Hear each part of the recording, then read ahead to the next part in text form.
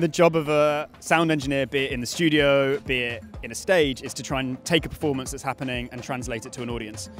And one thing that Soundscape does that helps that is helps localize people on stage better. So if you've got a guitarist who's playing right over on the right hand side of the stage, you always hear them from where they should be.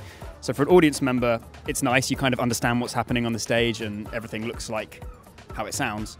Um, and for a sound engineer, it's really easy because you don't have to really worry about cramming everything into a left and right. You have way more width and space to play with when it comes to mixing the show.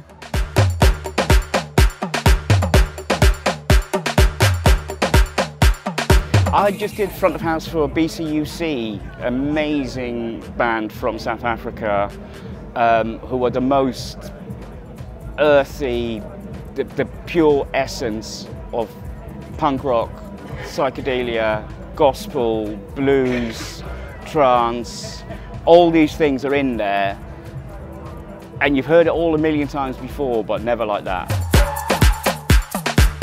We saw the an amazing Japanese artist the first day, and it was like ambient, and you had to close your eyes, and it felt like it was all around you. It was really, that was really yeah. good. The music surrounds you in there, I think, wherever you're standing, which is really nice. I think artists get most excited when they can communicate with audiences in new ways. And I think, you know, adding a 360 element is a new way to experiment with audio. It's a new way to take a performance and display it. So we are Imogen, Ellie, and Will, and our band is called Vocal Gentle.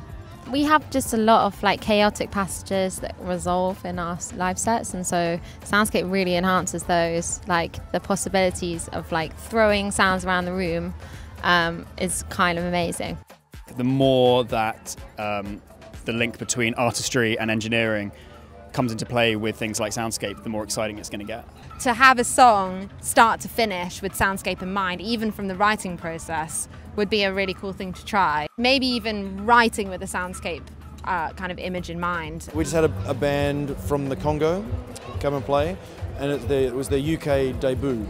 I, I'm, I'm quite sure that their manager who came out, whose name was the Doctor, uh, he said, I said, oh, so we've got this sound system that goes around, and I think now he thinks that this is a standard issue thing, which, it, which oh, clearly it isn't, right? But, but he's like, oh, make it, just put it everywhere. And we were like, well, that sounds like a license to experiment.